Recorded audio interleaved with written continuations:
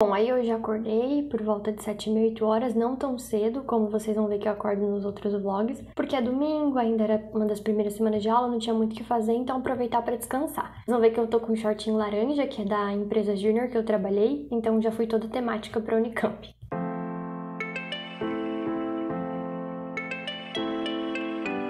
Chegando aí ao PB, ou Ciclo Básico 2, é o primeiro lugar que a gente vai, né, que a gente entra quando a gente chega da entrada principal, que vocês vão ver também em outros vlogs eu entrando.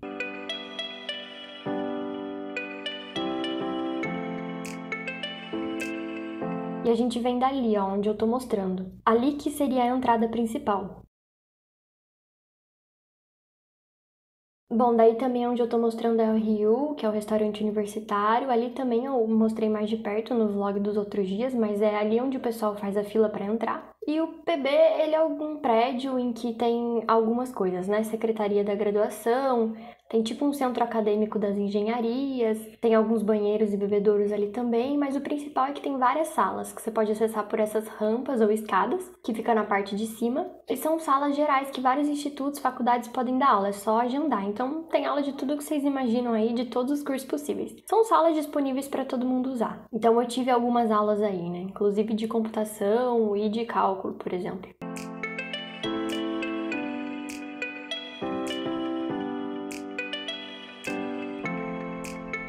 Então, esse daí é o ciclo básico 2.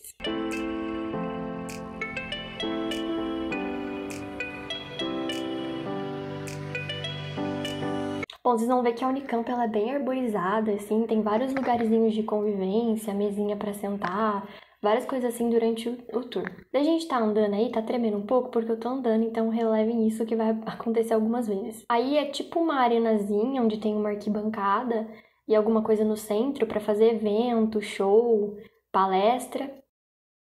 E aí onde eu estou mostrando é a biblioteca central, onde concentra vários livros de várias áreas. Cada instituto também tem a sua biblioteca em separado. Alguns não tem, né? Como o Instituto de Computação não tem. Então a gente está aí bem no centro da Unicamp, do ciclo, do mapa. Ah, o mapa da Unicamp ele tem o formato do símbolo. Então vocês vão reparar isso conforme a gente está andando. Bom, a gente veio do ciclo básico 2, que eu mostrei para vocês, que é ali onde eu tô mostrando, e aí daí a gente andou até esse ciclo central, é onde a gente vai entrar. A gente vai atravessar aí para chegar no ciclo básico 2. Ele estava fechado, porque era domingo, é onde eu tô mostrando, então não vai dar para entrar, mas eu não eu vou mostrar no vlog de terça é, uma aula aí, vou mostrar a sala. As salas são bem bonitas, são bem legais. Então não deixe de conferir. A gente veio dali, né, que eu mostrei com o dedo de novo, e aí a gente cortou caminho e foi para trás do ciclo básico. A gente não atravessou o ciclo básico, que é onde eu tô mostrando, né? O ciclo básico é tudo isso aí, o ciclo básico 1. A gente cortou por trás.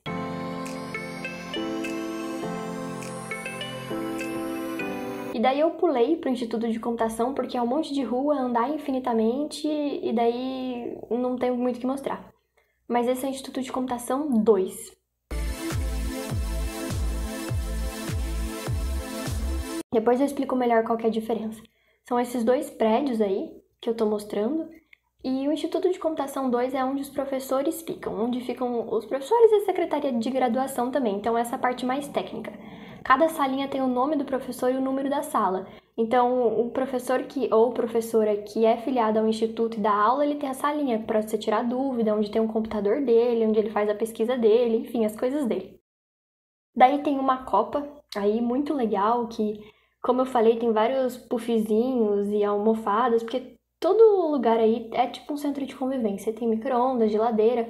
Quando eu fazia iniciação científica ia no laboratório aí, nesse C2, eu usava a copa. Então aí é mais um lugar com uma luzinha, é um dos corredores do IC2, né? Como eu falei, é cheio dessas coisas, em todo o IC. Aí é a entrada, é o que eu tive que percorrer para entrar. Eu não mostrei eu entrando, né? Só mostrei de longe, mas essa daí é a porta do IC2 e a gente tem que passar por esse corredor aí, todo bonito. Eu gosto muito dessa parte. Bom, e daí agora que a gente está saindo do IC2, a gente vai para o IC3, que é o IC dos alunos, vamos dizer assim, propriamente dito, que é onde eu estou mostrando aí. É só atravessar a rua.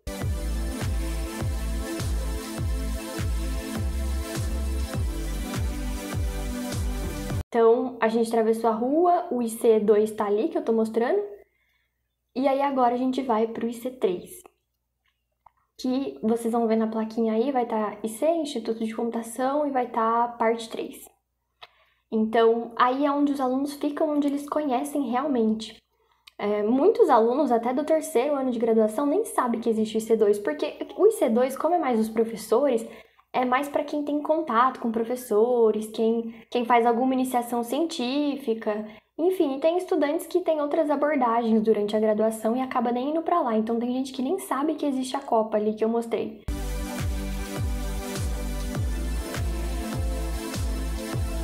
Então aí é mais um espacinho de convivência, daí tem mesinhas, e uma coisa que eu acho legal é que todas essas mesas que eu tô mostrando, cadeiras, sempre vai ter uma tomada para você carregar seu computador, seu celular, então assim, você nunca vai ficar de mãos abanando. Então é bom lembrar de sempre levar carregadores na mochila. Daí é um container do Santander. Existem parcerias entre Santander, Unicamp, Instituto de Computação. Eles financiam algumas pesquisas e constroem né, alguns espaços deles. Aí é tipo um escritório para o pessoal da pós-graduação. Eu não posso entrar, mas eu só estou bisbilhotando ali. Então, agora a gente vai entrar mesmo no Instituto de Computação, que essa entrada é esse caminho aí, muito bonito também. E de noite ele fica lindo, fica todo iluminado, tem iluminação no chão e tem essas várias pinturas com personagens assim,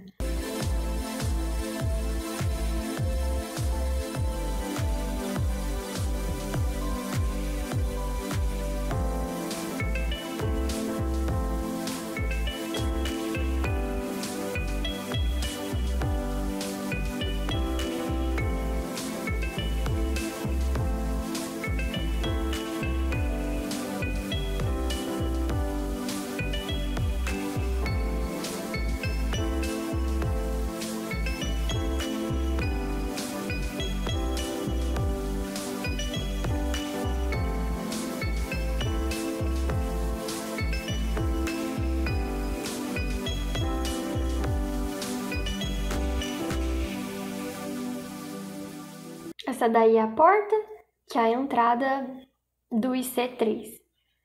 Então a gente vai entrar, só que a gente vai conseguir porque ela tá trancada. Então a gente voltou e é até bom porque eu vou mostrar outra entrada. A gente veio daquela escada ali, que eu mostrei para vocês, que é a rua de baixo que dá acesso ao IC. Então a gente vai pela entrada de cima, que tem que passar por esse corredorzinho aí. Depois de passar por esse corredor, a gente tem que andar um pouquinho mais reto e é onde tem aqueles vidros ali que é a entrada que a gente quer ir. Já dá até para ver a porta daqui.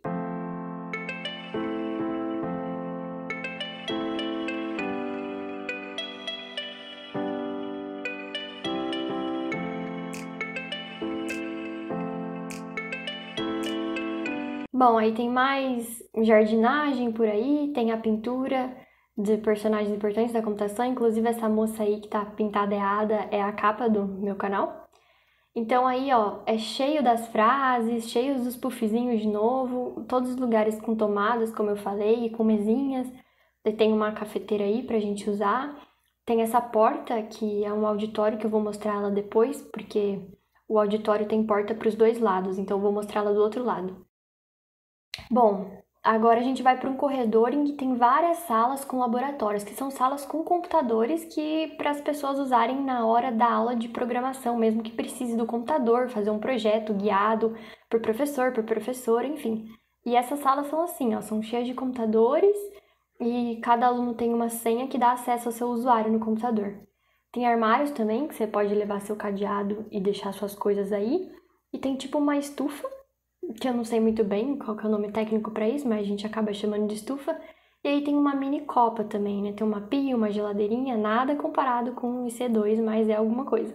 E daí saindo dali tem a salinha do centro acadêmico, que tem jogo, videogame, para o pessoal ficar entre as aulas, conversar, enfim, para o centro acadêmico fazer reuniões e discutir coisas relativas à graduação mesmo.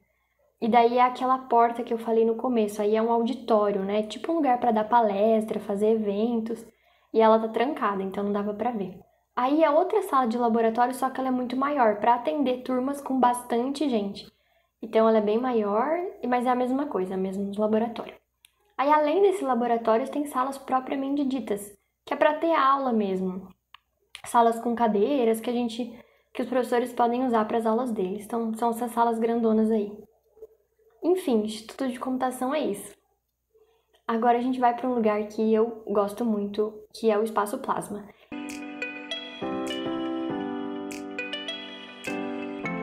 Esse lugar também muita gente não conhece. A pessoa tá no segundo ano de graduação e só depois vai conhecer. É um lugar cheio de mesa para estudar, tem um monte de tomada também e tem ar condicionado, então é ótimo, é bem fresquinho. Que a gente passa um calorzão aí andando pela Unicamp inteira. Então tem essas arquibancadas para sentar, tem essas salas que são fechadas com portas para isolar o áudio. Então, se você quer fazer um trabalho em grupo, você pode se reunir com seus amigos aí e fechar a porta. Então tem lousa, ar condicionado, Bom, daí tem aí a parte de cima, que são mais mesas, mais espaços para poder estudar ou fazer trabalhos com grupos. Tem esses monitores aí que a gente pode usar. É muito útil. Às vezes eu vou aí para editar vídeo porque eu tenho duas telas e eu não tenho outro monitor.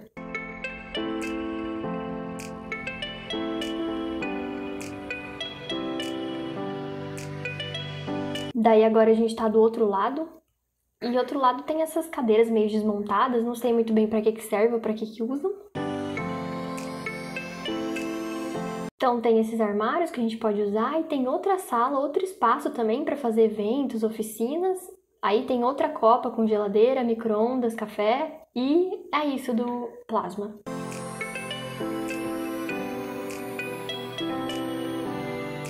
Agora a gente vai andar um pouquinho até a Praça da Paz que é um lugar que no domingo o pessoal passeia com os cachorros, é, um, é uma área assim bem verde, que dá para fazer piquenique, rodas de conversa, e é vários eventos que a galera faz. Então, às vezes eu vou aí de domingo, não tem nada pra fazer, vou conversar com uma amiga e a gente fica na praça. Aí tem essa arquibancadazinha aí também, que dá para fazer sarau, eventos, é, músicas, coisas que o pessoal organiza. Bom, e é isso, gente. Eu vou esperar um amigo meu chegar, que a gente vai ficar conversando, vai sair para comer alguma coisa, um sorvete, sei lá. Mas valeu por assistir e não percam os outros vlogs.